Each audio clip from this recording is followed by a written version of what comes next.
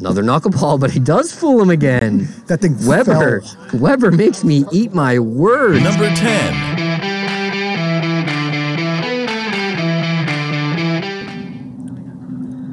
And there's the nasty. I don't even know what to call that, but that's like pitch number 12. the softball screwball pitch. I don't know. I don't know, Brad. It's uh, filth. I'm just Yeah. gonna label it filth. That's Yeah. the filth pitch. Yeah, and then he throws one that breaks the other way from the same arm motion. Number 9. Well, maybe not with Casey in the outfield, but I think they just get in the way. There's another strikeout from Santiwan. Just dealing, dealing, giving this Vaders a chance to to win this game. Gonna bring Trench McCombs to the plate, looking to rally with two. Number 8. is doing a good job locating, staying low. And he gets him to swing and miss again there as uh, the early scouting report on Towers is almost cut the zone in half. Yep. Anything on the bottom half of that imaginary zone is a take, and we're going to look for something in the upper. He never upper comes up in the zone. He Yeah, has he- good he- control. Number 7.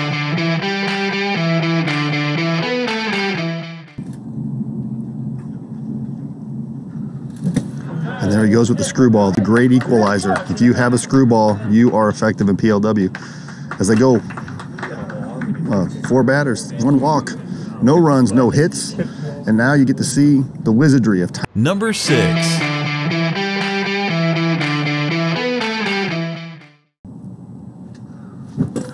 But that's just unfair. The screwball with a little velocity. Tom Gannon is putting on a show right now. Absolutely, just straight filth. Has yet to win a Cy Young. I don't know how that's impo- I don't know how that's possible. I don't know how it's possible either, but you can see by the look on Etter's face on that replay that they just showed. Yeah. He- his eyes were wide open. Yeah, Number 5.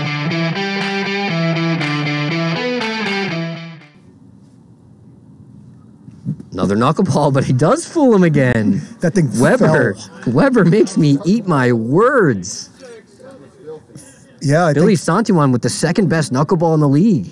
I think that um, maybe there's a little little window on how to get mock out.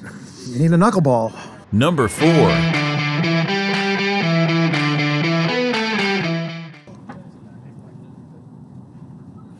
And nasty, nasty pitch there. That fell right off the table.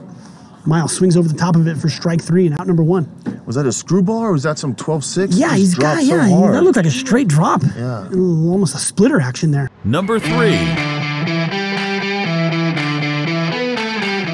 I, I agree. I mean, he's got nasty stuff. Ooh, and That's, I mean, he makes hitters look like that. wow. I mean, that's complete fish effort there from Baker. And Stevenson is cruising here and is the unfortunate loser of this game so far. Legends need to just get that key. Number 2.